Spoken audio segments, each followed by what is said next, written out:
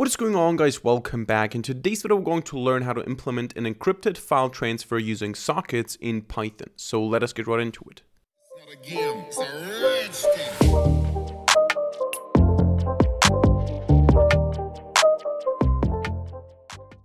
Alright, so for this encrypted file transfer today, we're going to use symmetric encryption. This basically means we're going to use the same key for the encryption as for the decryption, which is different from something like RSA, from asymmetric encryption, where we have public and private keys, the public key being used for the encryption, the private key being used for the decryption. This might make more sense if you want to exchange the key. So if you want to exchange, for example, the symmetric key, you might want to use something like RSA, but for the actual file transfer, we're going to use asymmetric approach. And before we get into the code, we need to install two Python libraries or two Python packages. We're going to start with pip install pycrypto. This is the most important package. This is going to do the actual encryption. The socket transfer will be done with uh, core Python. And in addition to that, once this is done, if it's done, I actually have it installed already, so it shouldn't take too long. Um, but what we're also going to install is we're going to install TQDM, which is essentially a library that I have used on this channel already. It's a library that displays professional progress bars. So I'm going to terminate this now because I already have PyCrypto installed. You just have to do pip install PyCrypto and then also pip install TQDM for the progress bars. Once you have these two libraries installed, we can start working on the first file, which is going to be a file for generating the keys. So generate underscore keys dot py. And here we're going to just generate a simple symmetric key. Actually, we should maybe just call this generate key because it's not going to be plural. Um, and here we're going to say now from crypto.cipher, we want to import the advanced encryption standard, so AES. And we can manually define a key if we want to. We can also generate it randomly. Uh, the important thing is that the key has to have 16 bytes. So if you come up with your own key, it has to have 16 bytes. It cannot have 15 or 17 bytes. It has to have 16 bytes. One example would be, for example, the neural 9 key that has 1, 2, 3, 4, 5, 6, 7, 8, 9, 10, 11, 12, 13, 14, 15, 16 bytes as you can see. The same thing can be done for the so-called nonce. Um, essentially, you can think of this to be a little bit like a salt. So just something that you add to the key. We can call this, for example, the NeuralNine NCN or actually NCE maybe for nonce whatever you want to call it, or you can just generate this randomly. You need to have 16 bytes for the key and 16 bytes for the nonce. That's, that's the requirement here. And then we can just create a cipher by saying cipher equals aes dot new, and we can say that based on the key we want to have a new cipher, the mode is going to be aes dot mode eax, and we're going to also pass the nonce, and then we can generate a cipher text. So we can say something like cipher text, um, dot uh, ciphertext dot um, not dot sorry. Ciphertext equals cipher dot encrypt and then we can pass bytes into the encrypt function here and this will then give us the encrypted result. So i can say here something like hello world and then i can print the ciphertext and you're going to see that this is the result now. So this is not really readable to us, uh, but we can go ahead now and use the same cipher to decrypt that. So we can get, uh, actually go ahead and create a new cipher saying cipher equals aes dot new and we're going to use basically the same line. So I'm, I'm using this again so that you see that this is the exact same thing. So we can either use the existing object already or we can just create a new uh, AES instance using the same key and the same nonce, and this will be able to decrypt the ciphertext. So we can say cipher dot decrypt and then ciphertext. Ciphertext. There you go. And when I print this, you can see we have hello world. Now, I actually thought about exporting this, but it might actually make more sense to just do it in the receiving and in the sending script. So we're actually going to just delete the script now. And we're going to do the same thing in our receiver um, and in our sender script. And we're going to start here with the uh, sender. So we're going to say here sender.py. This is going to be the script that sends the encrypted file. Uh, here we're going to say import OS, which is a core Python module, import socket, which is also a core Python module, and then from crypto dot cipher, we're once again going to import AES, the advanced encryption standard. We're going to define the key again, the neural 9 key. The nonce is going to be the NeuralNine NCE.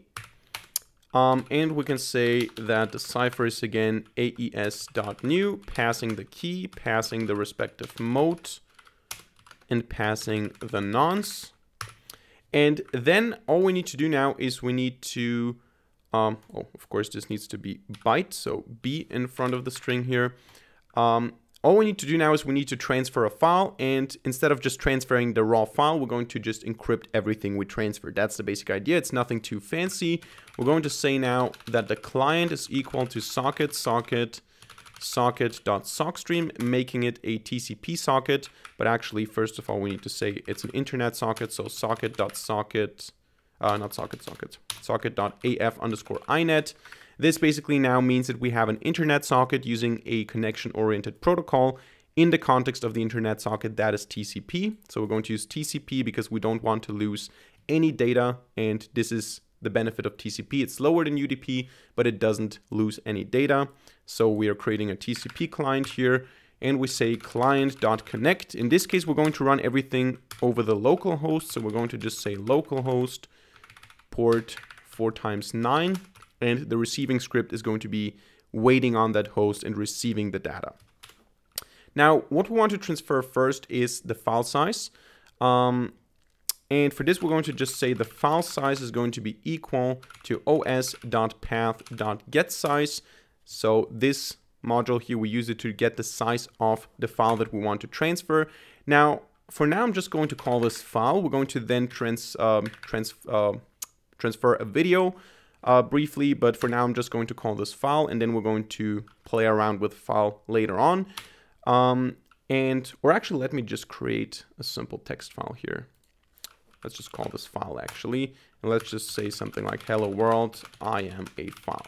Now this is obviously quite simple. This is just a simple text file, but we're going to also be able to transmit video files, for example.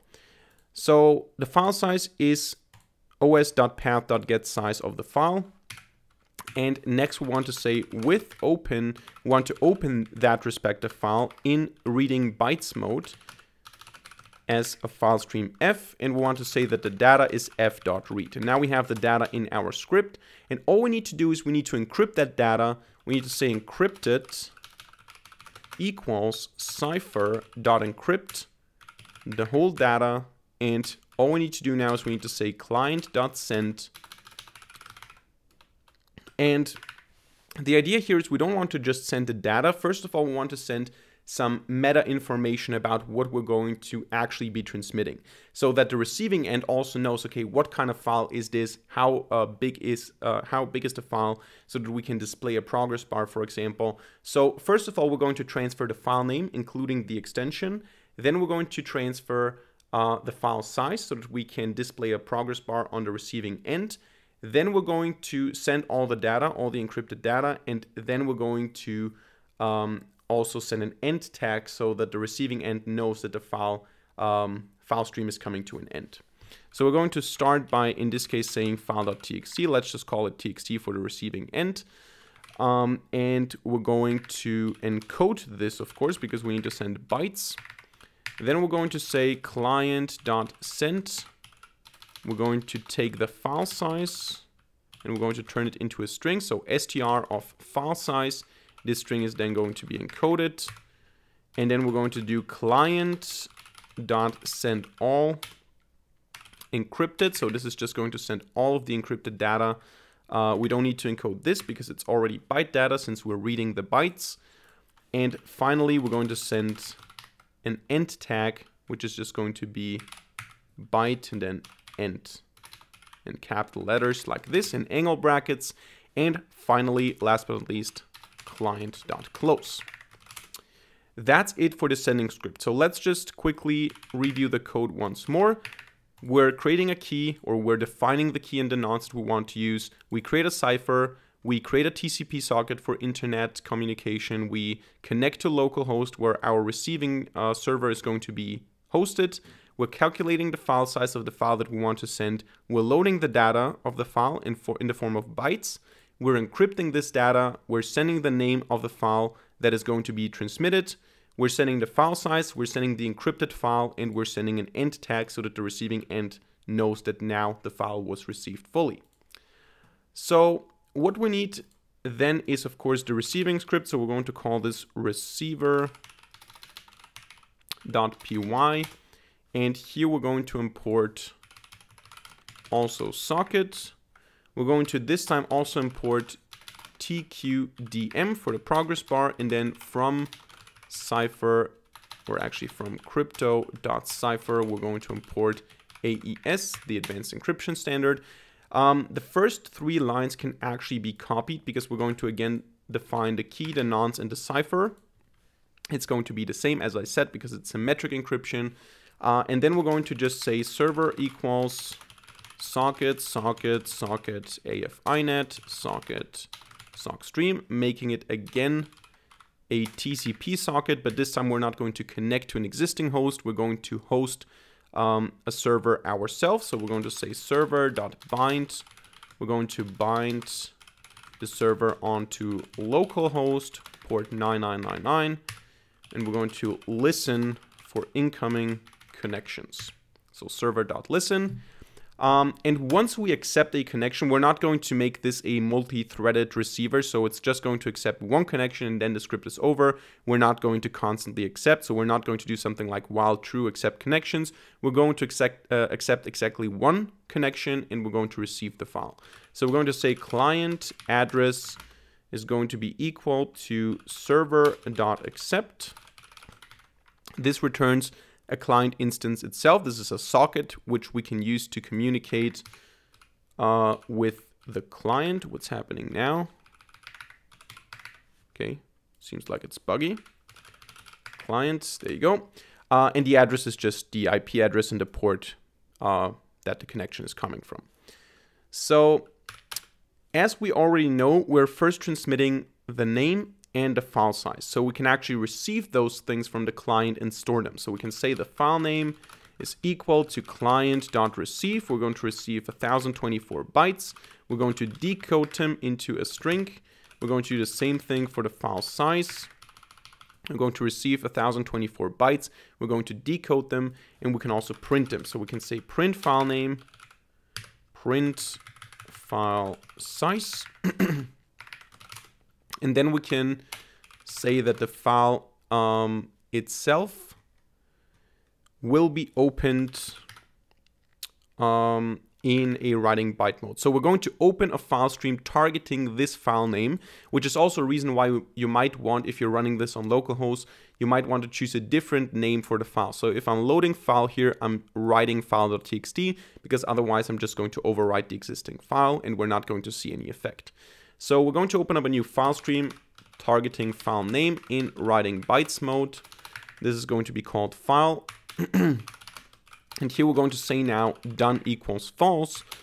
File bytes is going to be an empty byte stream. And the basic idea here is that we don't know um, how much data we have to get. So we can essentially just receive and receive and receive and append because we don't have something like receive all. We, we do have the function send all, to just send all the bytes, but we cannot just say receive all. We have to receive a specific number of bytes, which is why we're going to do this in a while loop.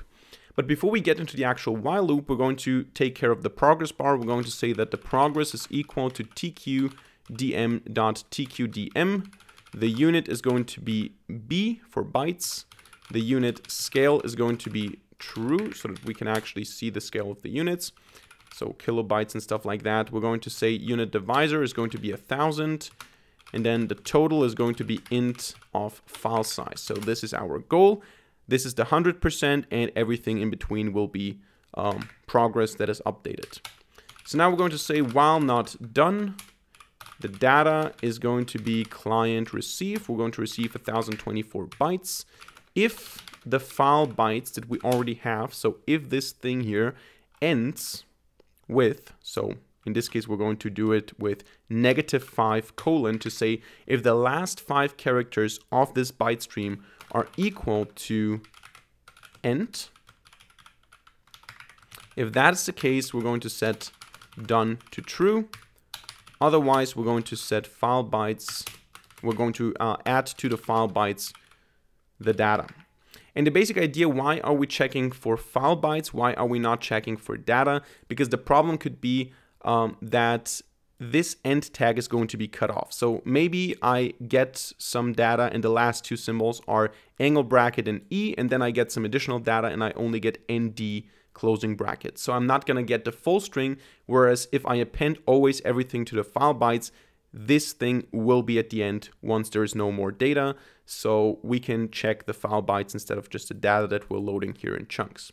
So by checking this, we know that the final result is um, actually in file bytes and we can just cut off the last five uh, characters and we have essentially all we need. And of course, every time with each iteration, we want to say progress update, we want to update 1024 bytes. So this is going to get us closer to the 100% by 1024 bytes. And finally, we want to say file.write cipher.decrypt because remember everything we got um, is essentially uh, coming from, uh, is, is essentially encrypted already and we need to decrypt it first. So we're going to decrypt the file bytes. We're going to close the file. We're going to close the client and we're going to close the server. That should be it. So let's run this now and let's run this now as well. This happened instantaneously. And if I open this up, you can see we have hello world, I am a file. Now, I think the problem here is that we're not removing the end tag. So we're decrypting something that is not encrypted. This can be solved quite easily by just saying everything up until negative five. I think that should be it. So let's run this again. And there you go. Hello world, I am a file. You can see it's the exact same file. It was transmitted um, over the sockets and the data. If you would use something like Wireshark to see what is being transmitted, you would not be able to see those files. You would only see um, you would you would not be able to see any content. You would not be able to see any of the real bytes. You would only see encrypted stuff. So actually, we can see what is being transmitted before it is decrypted by just saying print file bytes.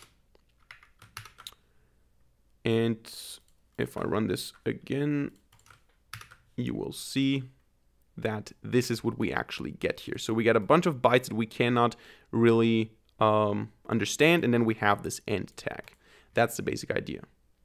Alright, so last but not least, let us transmit a file that is not just text. Here I have a video that I just recorded. It is the intro to this video, so we can actually open it up in the Explorer. I can then double click it and you will see what is going on guys welcome back in today's video we're going to that is essentially the intro to this exact video that i'm just recording right now and we can take this now and we can transmit it so we can go to the sender we can say that this is the file that we want uh, to transmit. It is the encrypted file1.mkv.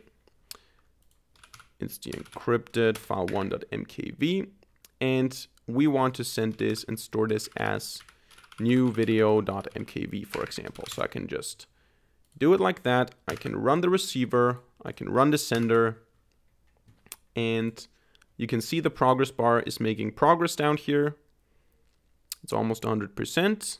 There you go, it finished. This is what we get here. Now, to be fair, we would probably also not be able to understand anything if it was not encrypted. Uh, but if I now open this in the Explorer,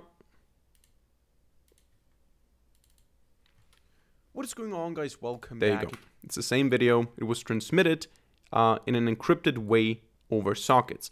And this would make sense, of course, if someone would have an interest in that video before it's published. Understandably, you want to see it before everyone else, but um, with the encryption, you would not be able to see the content unless you have this key, unless you can also decipher, unless you can also decrypt the video. So that's it for today's video. I hope you enjoyed it and hope you learned something. If so, let me know by hitting the like button and leaving a comment in the comment section down below. And of course, don't forget to subscribe to this channel and hit the notification bell to not miss a single future video for free. Other than that, thank you much for watching, see you in the next video, and bye.